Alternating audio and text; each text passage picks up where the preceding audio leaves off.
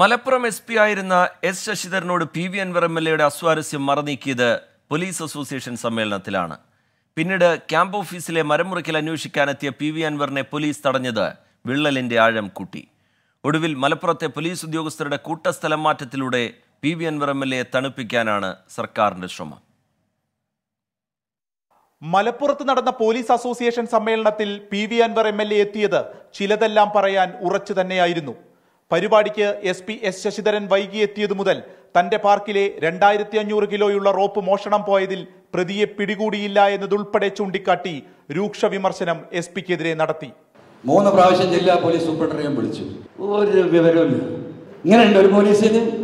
എങ്ങനെ ഏത് പൊട്ടനെ കണ്ടുപിടിക്കാൻ കഴിയില്ല? ഐ പി എസ് ഓഫീസർമാരുടെ നല്ല പേരിനെ കളങ്കപ്പെടുത്തുന്നുവെന്നും എസ് പി സാമൂഹ്യ വിരുദ്ധമായ നിലപാട് സ്വീകരിച്ചുവെന്നതടക്കം പൊതുവേദിയിൽ ആരോപിച്ചു.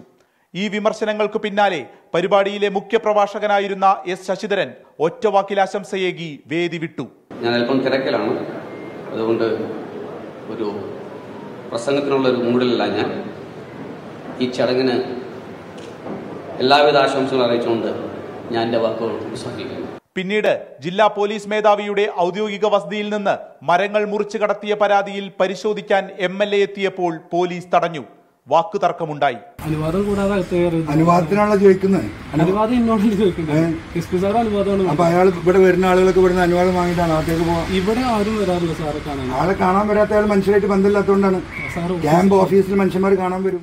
പൊതുവേദിയിൽ വിമർശനം ഉന്നയിച്ചതിൽ മാപ്പ് പറയണമെന്ന ആവശ്യം പല കോണിൽ നിന്നുയർന്നെങ്കിലും മാപ്പ് പറയില്ലെന്ന നിലപാടാണ് അൻവർ എടുത്തത്. പ്രത്യക്ഷമായും പരോക്ഷമായും നിലനിന്ന തർക്കത്തിനും ശീതസമരത്തിനും ഒടുവിൽ എസ് പി എസ് ശശിധരനെ സർക്കാർ മാറ്റി. എം എൽ എ പറയാതെ പറഞ്ഞ ഒരാവശ്യം കൂടി നിറവേറ്റിക്കൊടുത്തു. അൻവർ അനുകൂലികളുടെ ഭാഷയിൽ രണ്ടാം വിക്കറ്റ്. ട്വന്റി മലപ്പുറം.